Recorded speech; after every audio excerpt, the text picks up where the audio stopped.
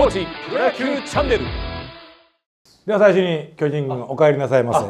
はい。また。よろしくお願いします。ね、はい。あーやりがいのある仕事と思うし、でもまああのこと一年間お互いお互い外ぐらい見ててね。そうですね。ん。はい。素直なあ気持ちでいいんだけど、あの巨人のピッチャー陣どう見てましたか？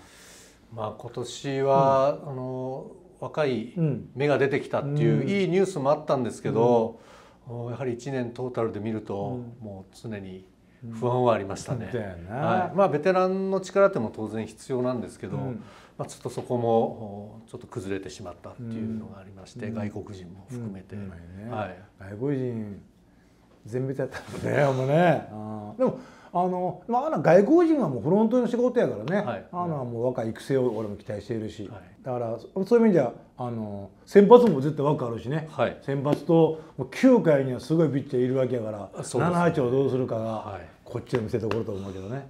まあでも本当まずはブルペン。うん。まずはブルペンをあのしっかりしたいなっていうのがあります。あのこれは村さんもそうですけど、各球団見渡しても、うんやっぱりブルペンが、うん。うんしっかりしてる、うんうんそれがなんかこうチームの安心感にもなると思いますし、もうビタミンが最高のね、はいやっぱり結局上位チームは、うん、7、8は確立されてるもんね。そうですねんはい7、8、2人やね。そうですね。うんまああのそこが、うんまあ3人っていうよりは、うん。まあ5人ぐらいのそうそうそう。かそうかもっとね。ちょっと確定までは早いとは思うんですけども、うん。だからアーノの見る7、8の期待できるピッチャーはこれからと思うけどね。はい。うん。まああの左はあのまあ高梨。あ今高梨だね。年はい。やってくれたっていうのもありますし、うんね。あとは中川がちょっとこううまく立ち上がってきてるとうん。いうところですので、うん。えーまあその辺がまあ食い込んできてくれたらいいんですけど、ね。えーあとはまあ今回キャンプに連れてきてる、うん。まあ大江だったり、えーあとは山田、ままだ経験は薄いんですけど、ちょっとこの辺も期待ストレート力あるもんね。そうなんですよ。ね。あと変化球の精度と思うけど。うんどうどう？あの右の菊池なんか面白いよね。あ今はそうですね。ね。はい、比較的、えータイトなところでうん。一回使いたいなという、うん。まあ、ゲーム形式はちょっと少ないんですけどそうやね。はい、そういうところで力が発揮できるかどうかですよね。もうボールはストレートは2人とも力あるんで、はい。あともう変化球の制球と思うけどあとね。はい。うん。あとはもうここのキャンプメンバーでは、あの赤星うん。直江、うん。まあ、この2人が、あ二人二人先発でしょ？えー、とここはねやっこれ先発枠も考えていくと、うん。どういうところで、うん。えー力を出してもらおうかなっていう、まあ、そこはもうあんまり決めつけないようには今見てます。うん。はいなるほどね。はい。あそうかそうか。あでも直江なんかちょっとあの春シーズン中よりもストレートが力あるように見えるけどね。なんかねブルペンで今日ね。はい、今日良かったんですよ。うかったはい、ですね。あの久保コーチもうん巡回で入あってきてう久保さんね。うん。まあいろんなこうところで、アドバイスもらって、うん。ちょっと混乱しないようにはしてるんですけど、ね。はい、うん。でもやっぱ選手はコーチの一言で何かこうきっかけもつかめる時ってあるもんね、はい。何か変わる時ってね、はい。うん変わってくれたらね。そうですね、うん。はい。ままずはやはり複数イニングを投げれるっていうピッチャーを何人か作っていかないと、うん。今そうやね、はい。うん。シーズンはやっぱり乗り切れないと思う。いや直江は思うけどあのでで結構1巡目とか言うと結局2巡目に打たれるっていうのはやっぱりボールが高めに基本的にちょっと高めにボール来るから地球になるっちゃいいけどやっぱり3回4回捕まるっていうのはやっぱりボールが全然高いんかなと思うけどやっぱりね。はい。ね先発のやはり特に若い人は、うん。やっぱり3巡目に回った時っていうのは、ほぼ苦しむケースが多いので、やっぱりここを乗り切る力を、うん。まあ球威なのかはい。制球なのかそれぞれやと思うけどね。村瀬さんのようなリードでそれは低くあれあよく言われましたけど、ら まあそこの請求ですよね。低めをホームラン長打されたら俺もいつも思うけどしょうがないと思ってたもんね、はい。低めの方もねゴロヒットやっぱり高めっていうのは一軍のバッター特に外国人は飛んでるからね、うんちょうちの昔のタイロン・ウッズとかさ、はい。ヤクルトの外人とかやったらもうペタジーニとかさ、はい。コンで両とホームランやったもんねこれね、はまあでも今年ねやはりセ・リーグの各球団を見てると、やはり横浜だったり、うん。ヤクルトっていうのはそこは逃しませんよ本ね。当そうだよね、はい。本当そう。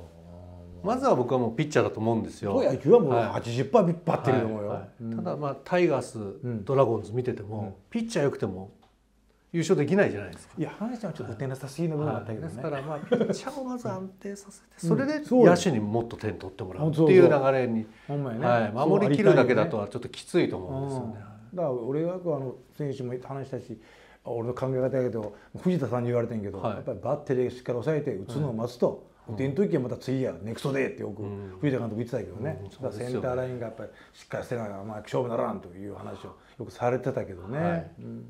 でもあの井上はちょっと浮いてたね。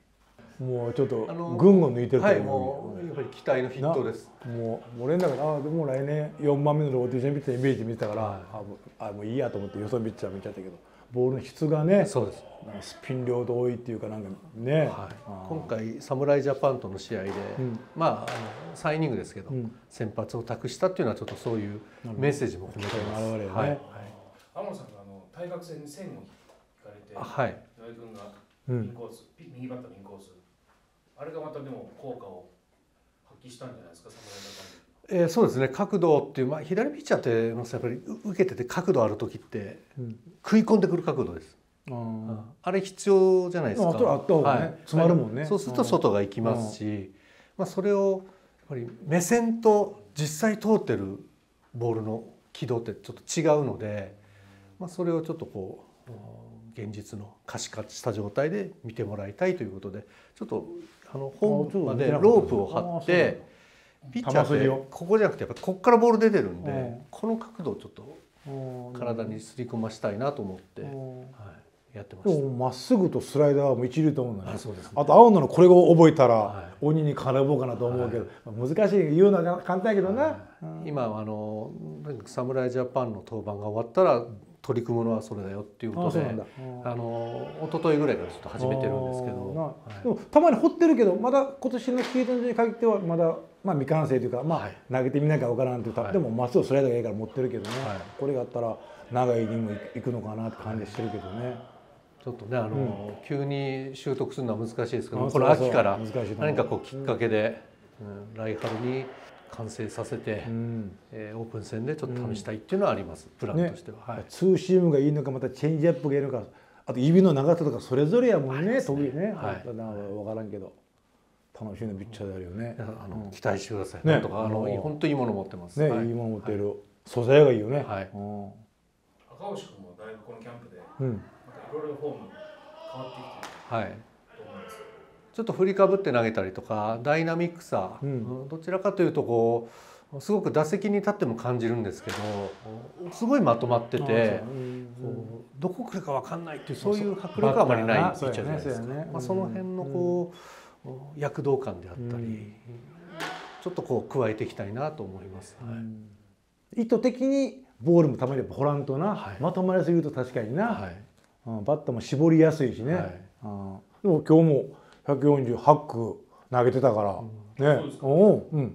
何キロで148って言ったよ、うん、だからスピードもあるしさ、うん、やっぱり打者がちょっと嫌だなこのピッチャー。打ちづらいなとか、うん。そういうちょっと目線を、赤星君にはちょっとこう、うん話をして、じゃあちょっともう少しこうクロスに行ってみようかなとか、うん。